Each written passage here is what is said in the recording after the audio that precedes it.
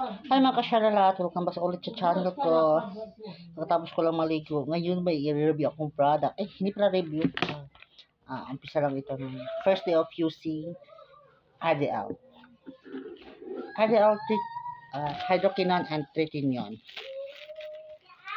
So, sana effective to kasi para matanggal yung mga pekas-pekas ko sa pagmukha ko. Mga balat kayo na yan. Akala, akala na masaya ako, Diyos ko, dami kong problema, guys. Kaya okay ano dyan.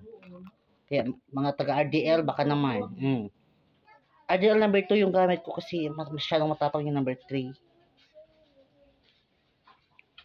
Kaya, taga-RDL, baka naman.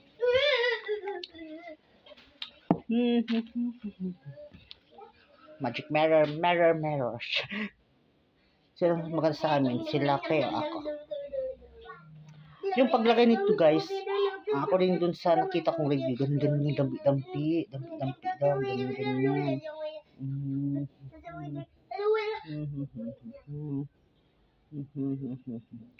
Uy, ang ganda ko sa dyan sa cellphone ko. Ko sa personal Diyos ko Lord. Ewan ko lang.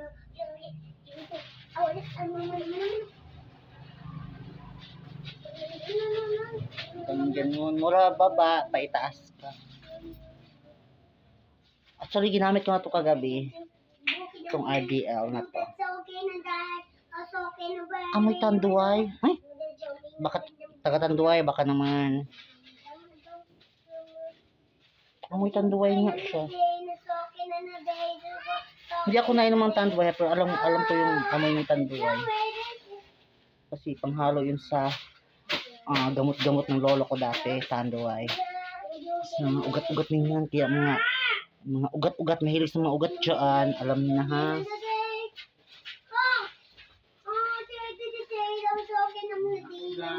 Mga ugat-ugat na yan. Mm. Mm. Ito, may pekas kasi ako dito guys sa sobrang init kasi.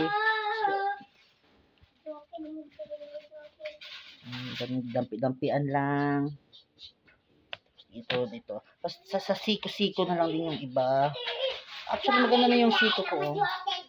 May mga kagid-kagid nga lang na kaunti. Yung, mm, tapos, kasi aalis na naman ako ngayon kasi araw-araw lagi ako naalis guys. Punta, pupunta ako dun sa mga bukid-bukid ko. Kaya, mm, alam yun ha. Kailangan ma kailangan may SPF tayo. SPF ano to? 75. Ay, parang grado ko lang dati. SPF 75. Harap, ha. Diyos ko Lord. 90, 90 pataas kaya yung grades ko dati. Tapos lagyan ito. Mm, mm, mm. Aloe vera extract to guys, yung ano nito. Galing ng, galing ng Loximi. Ayan, Loximi yan, oh. Ayan. O, taga Loximi, baka naman. Mahal akong mag-endorse guys. Diyos ko, ibang iba ako mag-endorse. Sa stock talaga. Nung nag-work pa ako dati sa Lifebank guys.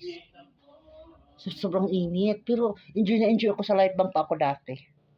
Kasi iba't ibang iba't ibang uri ng pagmumukha yung makikita ko. Iba't ibang, iba't ibang uri ng ugali ng tao. Ganun. May matapang. May mabait-baitan. Ganun. Para ano, hanang malalaki. Ayun. First day of using ko to ha. Ano, i-update ko lang kayo hanggang sa magbabalat. Kasi magbabalat na to kasi may hyd- hydroquinone at saka yun to eh. Kaya magbabalat. Tapos magbabak, pagbabakbak nito, gaganda na ako ulit. Kahit na may mga something-something pa sa buhay. Kung ganon. See guys, bye muna. Update ko lang kayo sa susunod kong vlog. Ay, may nagpapaano pala, shout out kay ah ah, ah, wag mo muna. Jo, Joan Pabilada muna. Joan Pabilada, Mark Vincent Bargalio, ah, Rose Bondas, hello sa'yo. Ewan ko kung buhay ka pa. Tapos, sa mga kaklase ko dati, sa mga katrabaho ko sa Life Bank, hello. Sa mga natulungan ko, tsaan, mga manggagawang, natulungan ko, at tutulungan, tutulungan ko pala. Bye guys! Um, mm, mm, mm, mm.